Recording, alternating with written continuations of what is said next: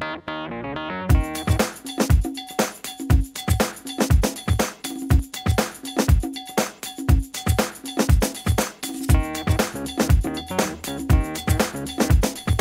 YouTube, this is Prince with ATP 101.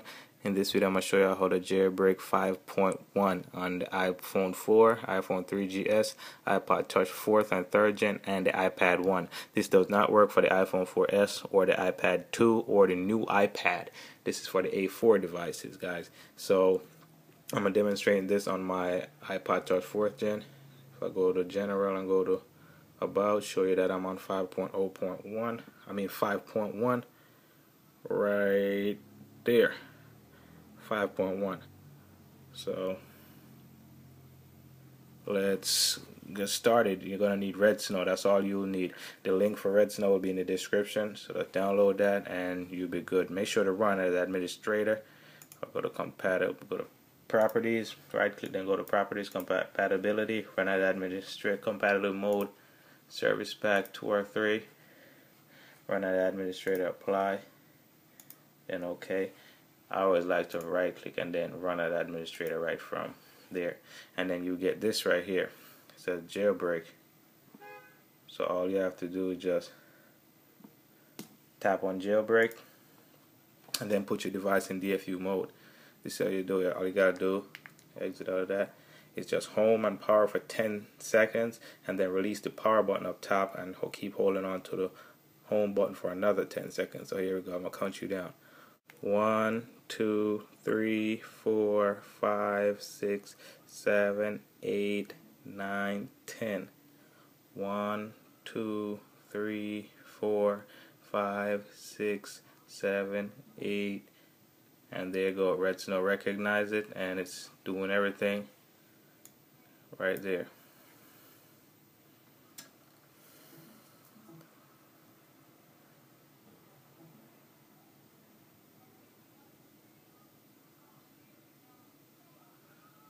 Waiting for the device to reboot. And guys, with a with a tether jailbreak, every time you turn off your device, um, your device dies, low battery, or you reboot your device, you will have to boot tether. That means you have to go on, on your computer and then just boot tether again. So if you don't like that process, do not jailbreak. Or if you have a um, unlocked iPhone, do not jailbreak because every time you turn power off your device, you will have to re-jailbreak it. So okay, so now we're at this screen. You definitely want to check Cydia because that's the main thing you want to get when you jailbreak. And then anything else you want, if you want multitask gestures, I want to enable battery percentage, so I'll check that. And just hit next, and let's watch the magic.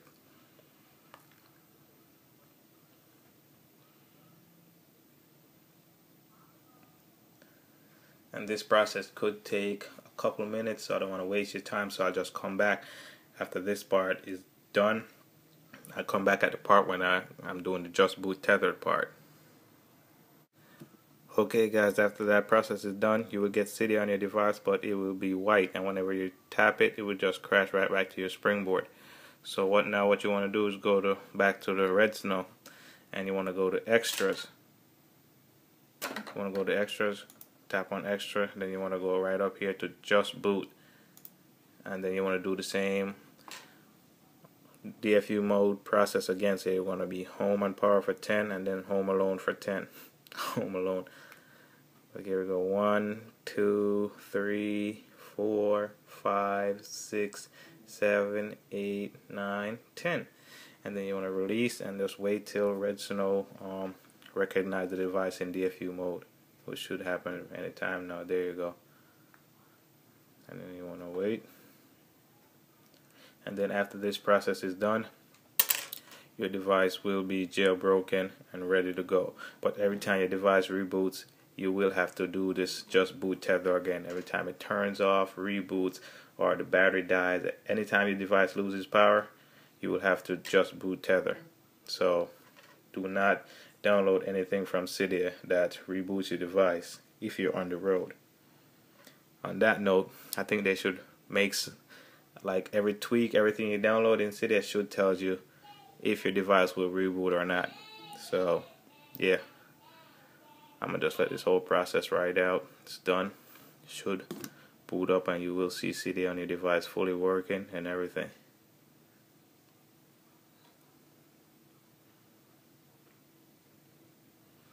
Come on, come on. Now you can even unplug your device. You can unplug your device now and just wait.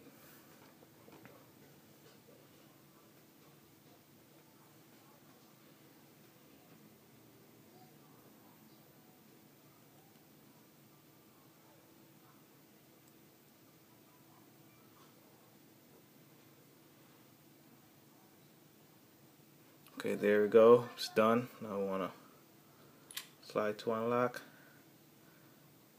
And see they're still white, but let's open them up.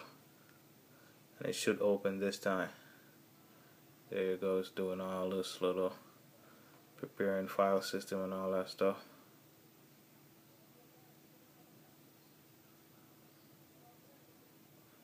And this could take a while so I'll come back after this is done and Cydia is fully working.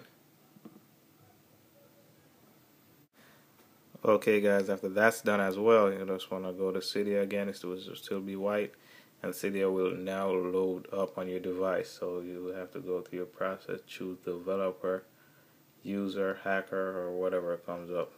Let's just wait a little minute. And after you did all that stuff this is what you'll get. Cydia fully functioning on your device. So there it is right there.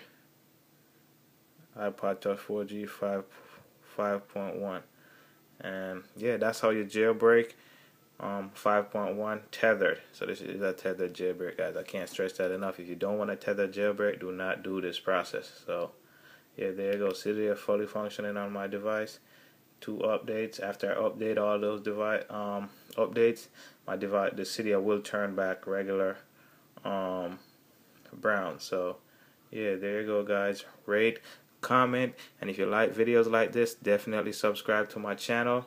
It's Prince with ATP 101. Peace. Thanks for watching.